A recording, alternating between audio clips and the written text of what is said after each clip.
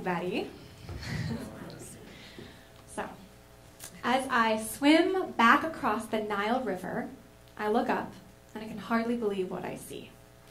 Cows are grazing, kingfishers are hovering, but the part that makes me smile and takes my breath away is the fact that 21 of my Stanley students are there in the village where I used to live in 2013 and 2014 in Uganda, mingled into the scene like they belong.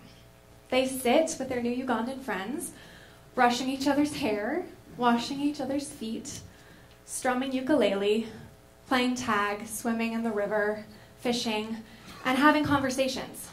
And as I step back onto the banks, I tiptoe around and eavesdrop on what they're saying to each other. And I'm going to let you eavesdrop too, because um, I have a clip that last year's seventh and eighth graders, Jack and Jay and Griffin, recorded with their new friend Muganda. I, I'm very sure there's so many people out there who are like, like they have something about Africa in their head. And they're, Yeah. they're always very nervous to make a step. I think it's been cool to see like how great it's been here in Uganda Wow. and how um like wrong everyone is. I You know, guess. like I Wow. want to live here. I No.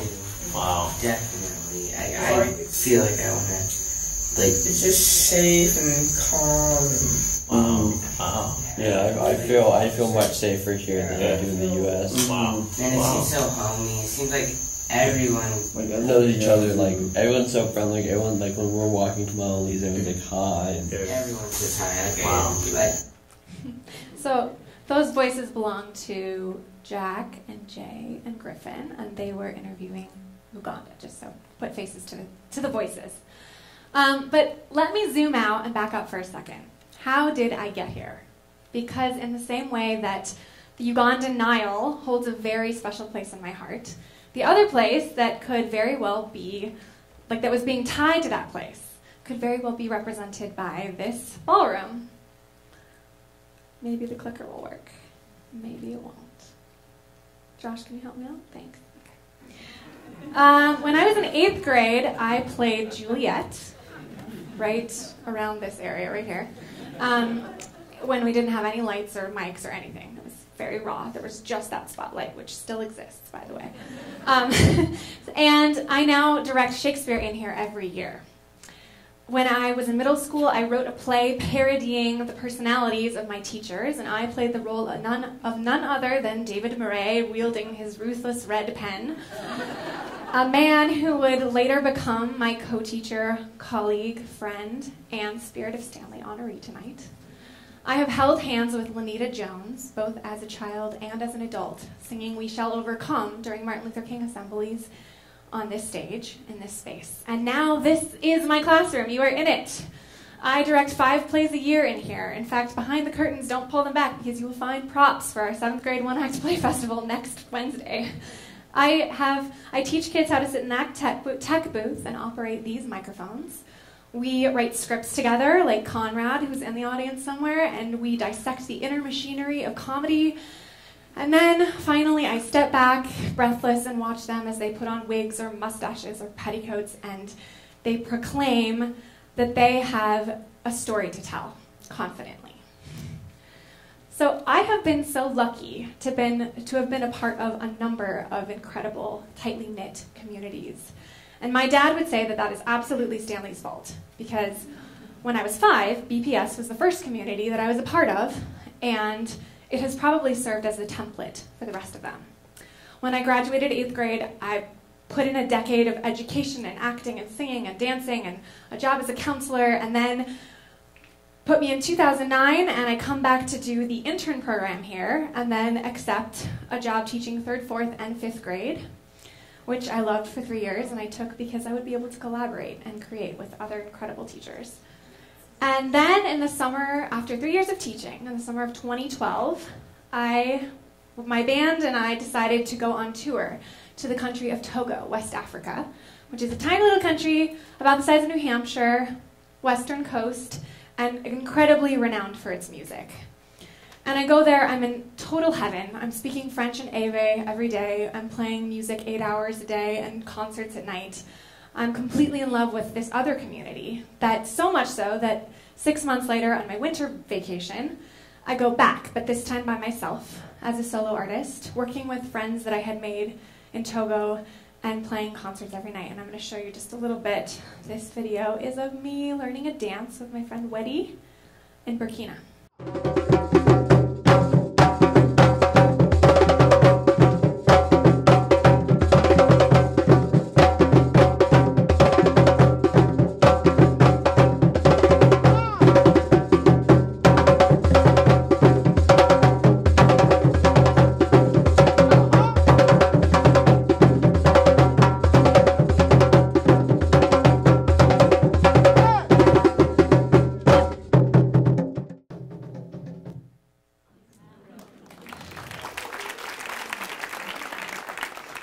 This next video is at the Bolo Makote Music Festival in Bobo Dioulasso in Burkina Faso.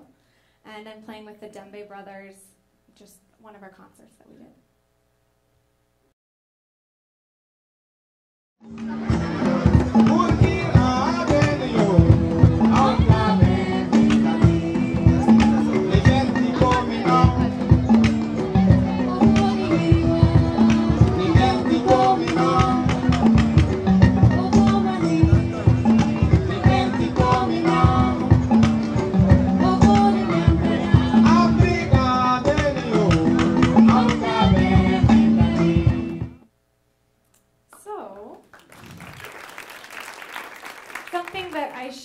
Taken for granted when I was spending so much time in West Africa It was the role that I was playing, which was one of a musician, like a musician, a learner, and definitely what Stanley would call a joyful lifelong learner, for sure.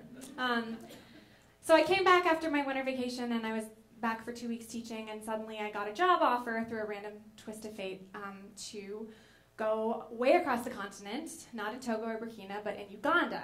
And I took the job offer. I told Stanley I would not be coming back to teach 345.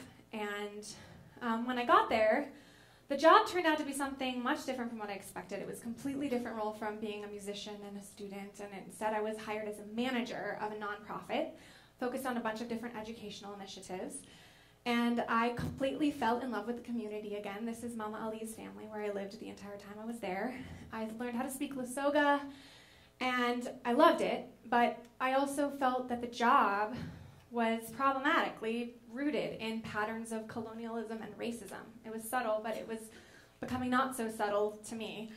And, you know, who was I to come into this place where I had not grown up, I didn't know the history, and be a manager of anybody? And maybe it's because of Stanley that I am as resistant of hierarchy as I am. Um, and maybe it's because Stanley showed me that a community is supposed to be a bunch of equal shareholders and not a privileged small group of people telling a large group of people what to do. But I started completely ignoring my job description. Instead, I became a buffer between my American boss and my Ugandan colleagues. I asked a lot of questions and listened and tried to help people get the resources they needed that they thought were necessary for their community. But eventually, I could not sustain working for this organization that was based on that kind of a power discrepancy. And I knew that the next time I came back, because I was absolutely coming back, was going to be much more humbly. So I came back and finished my master's degree in ed psych. And Stanley let me know that there was a position opened up for th- teaching third, fourth, and fifth grade, and I wasn't sure until I heard that the drama position was open, and I was like, yes, that's what I want. So I came back and co taught a homeroom with David, and spent the rest of the time in this space with a bunch of other incredible teachers, some of whom are in the room, um, directing plays in here and teaching drama classes, which was awesome. And then in 2016, I convinced 13 families, again, some of them were in the room, Lucas, I saw you walking, um, to, to send their kids halfway around the world. I don't know how I did it, but, and three incredible teachers to come along. And we spent months preparing we looked at how the entire age of middle school and the entire continent of Africa is completely misportrayed in the media with, with unfair stereotypes. We interviewed each other, we tried, we learned a little bit of Lusoga, and finally we got to Uganda, we showed up. And this is a picture of Cora in the East Angels shirt with her friends that she's interviewing. Um, and my students were able to push aside all of the Disney movies and the news stories and what somebody told them once about Africa and just sit and have conversations and be face to face with a community that I love so much and is so complicated. Um, and this trip has continued for three years and hopefully will go on in the future after I have a baby. um, but you know, it's really hard for me to untangle the thousands of ways that Stanley has touched my life. Obviously, I've had it much more intricately woven in as I come in and go out and come back again.